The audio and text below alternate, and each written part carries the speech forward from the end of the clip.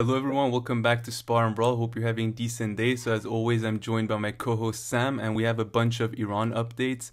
So about the elections, which are on the 18th of June, there have been a couple of debates and some reactions, some plagiarism accusations among the candidates.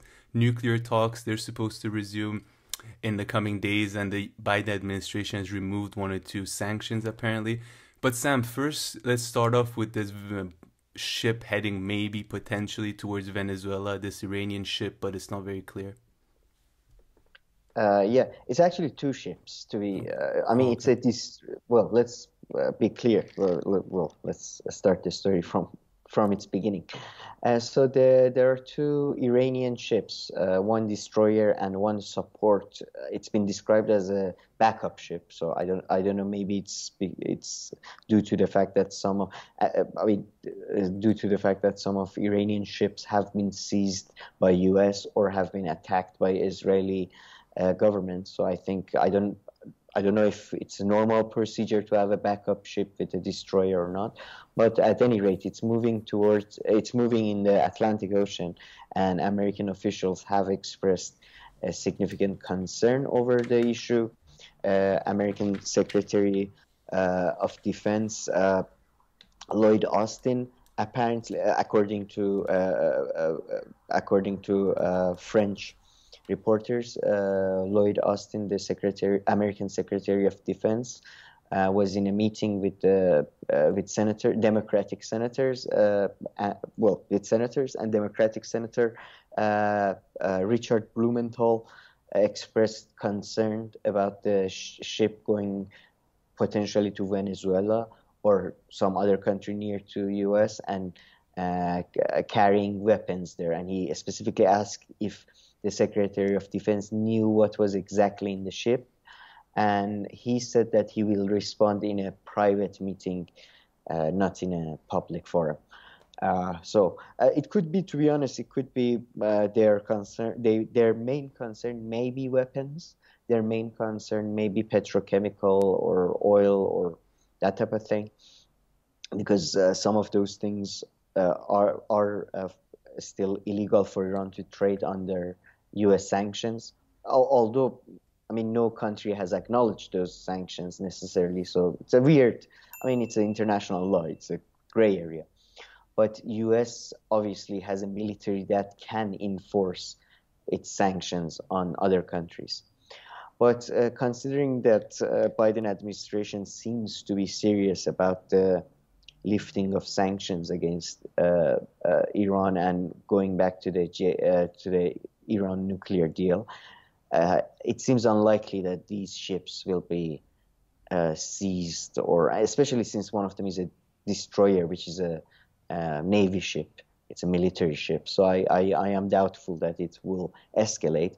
But obviously, right-wing politicians in the U.S. are going to make as much noise as possible about it. Okay. So, I, yeah. Any question? I don't know. Yeah, I had one question. So last week we did the video about how Iran's biggest warship, which was built by the British, it burnt down. And then, so is this like their second biggest warships or anything like that? Any connections like about, you know, the size of the ship or something? Are these like new ships or anything like that or no? Uh, I, I don't think it's any, no, that was, well, that was an incident. Yeah, that was, uh, yeah. But, yeah, but generally, I, I, I mean, I'm just asking. These are not think... new ships that have gone out for like you know their first joyride or anything like that. Because you were saying no. that I think you were saying that they were building new ships to replace anyway the the big one that had burnt down or something. They they already had they already had built a bigger one. It used to be uh, the the the ship that uh, the navy boat that uh, burned down. That used to be the biggest uh, Iranian military ship but then they have recently built bigger ones and apparently uh, homemade. It, they haven't been tested much. They, mm-hmm. And Iranian uh, officials have a tendency to exaggerate, like they uh, they have uh, sh- they showcase some military equipment and then you never see them again or never mm-hmm. see them in mm-hmm. action. So, but uh, I think to be, I mean, generally speaking, though, it's been an interesting year in terms of sea military wise because uh, just Iran and Israel have really engaged in more serious uh, sea battles. Apparently, there are reports of Israeli ships uh, attacking Iranian ship uh, or Israeli government, like through rockets and stuff, attacking Iranian ships. And there was this uh, alleged Iranian attack uh, on a on in the Mediterranean that caused the environmental issue or something. So it seems that Iran is getting more serious about its uh, uh, milit- uh, its navy. And it's a trend that you can see, by the way, with China and Turkey and many developing nations. They are becoming more serious about their na- uh, because you know if you, I mean, sea is very important if mm-hmm. you can, you know.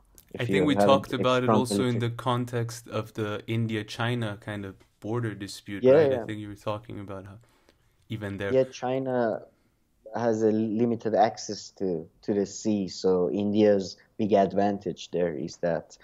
But yeah, so uh, I think I don't think it's specifically related to the incident at the boat, but generally speaking, Iranian uh, Navy is going through some major changes. I think updates and changes in its strategy.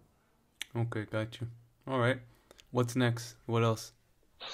So uh, yeah, kind of. Uh, I think it's uh, this one segues nicely to our uh, to the previous story. So yeah, you had uh, Biden administration lifting some sanctions uh, but at the same time uh, putting some new sanctions in.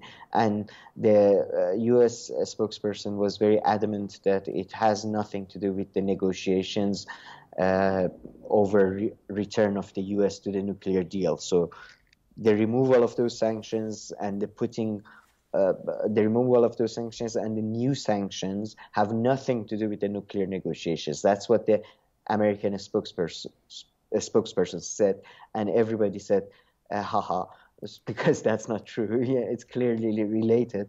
Uh, it, America clearly is sending some green signals. It seems that they are uh, they are willing to lift sanctions because the sanctions they lifted are far more important than the new sanctions that they put in.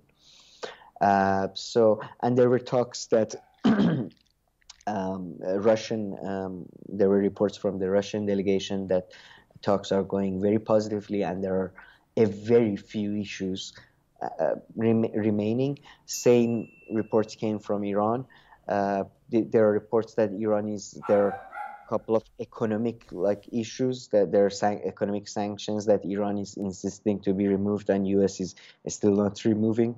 So it seems that uh, there they like there are very few issues remaining. Uh, interestingly, though, analysts, Iranian analysts in Iran and abroad, they are far less positive about the prospect of the deal in the next 10 days before the uh, Iranian elections. And they think that it's extremely unlikely that uh, it's going to happen in the next 10 days. But again, the Russian and uh, like foreign reporters are very positive.